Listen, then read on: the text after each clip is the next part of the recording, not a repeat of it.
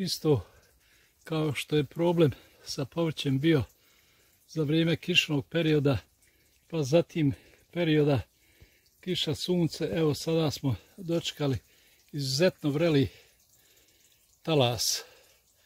Povrće jako teško podnosi veoma visoke temperature iznad 35, a evo kod mene u plasteniku trenutno oko podneva je 41 stepen, iako plastenik ima bočno otvaranje, znači otvoren je sa sve četiri strane, vlažnost je strahovito niska i ovo je vrlo neugodna situacija.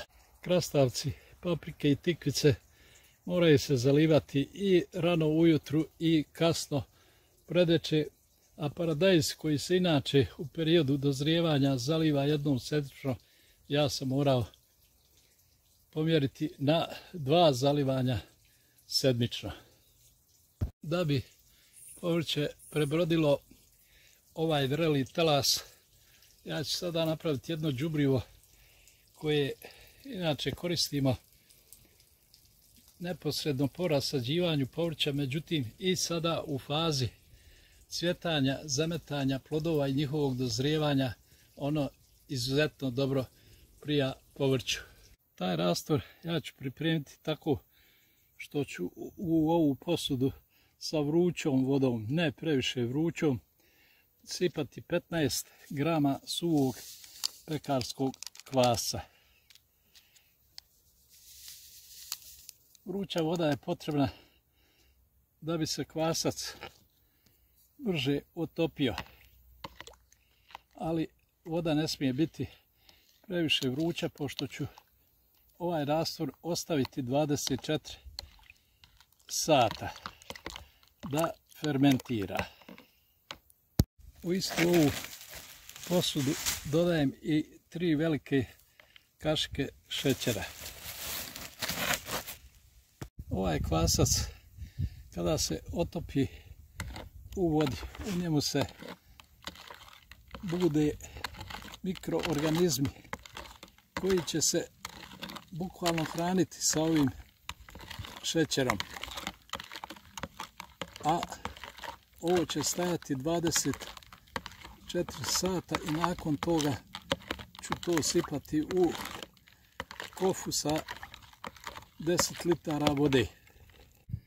Nakon 24 sata, evo ovdje se stvorilo i malo pjene i sada ovaj rastvor suvog kvasa i šećera dodajem u kofu. Kofu ću dopuniti tako da ćemo ukupno dobiti 10 litara ovog džubriva.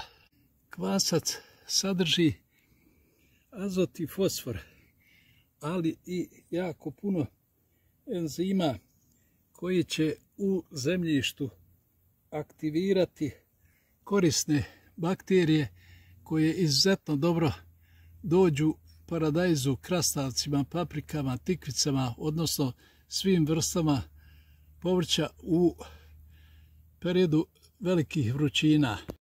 Jer kvasac inače podstiče rast, a konkretno sada ubrzava cvjetanje, zametanje plodova i dozrijevanje i dobar je za sve vrste povrća pa i cvijeće.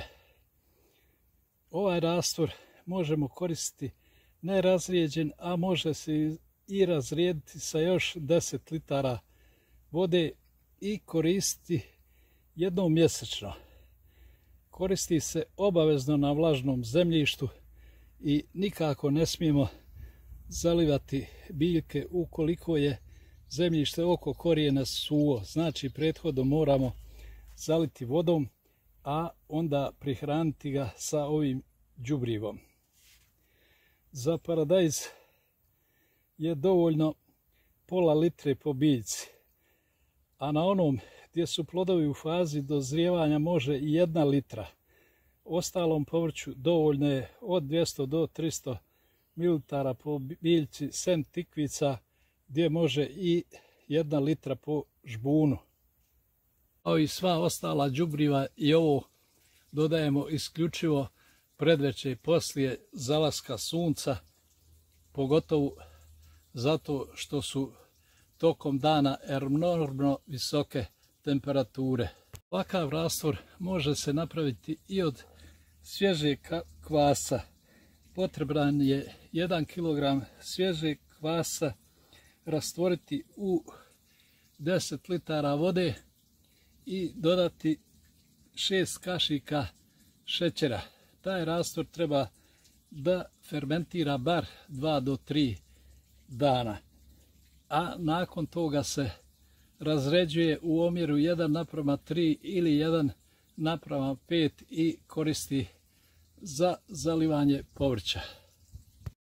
Kako kvasac djeluje na buđenje, odnosno aktiviranje korijena koji će poslije ove prihrane daleko bolje unositi hranljive materije u stabljiku povrća.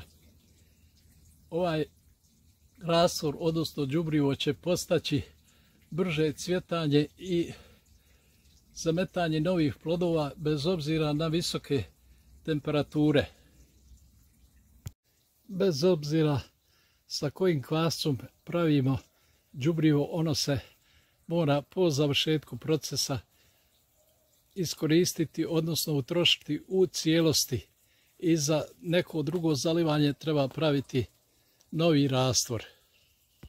U iznimnim slučajevima, ukoliko bi preli talas potrajao duže, ovo đubrivo može se koristiti i dva puta mjesečno.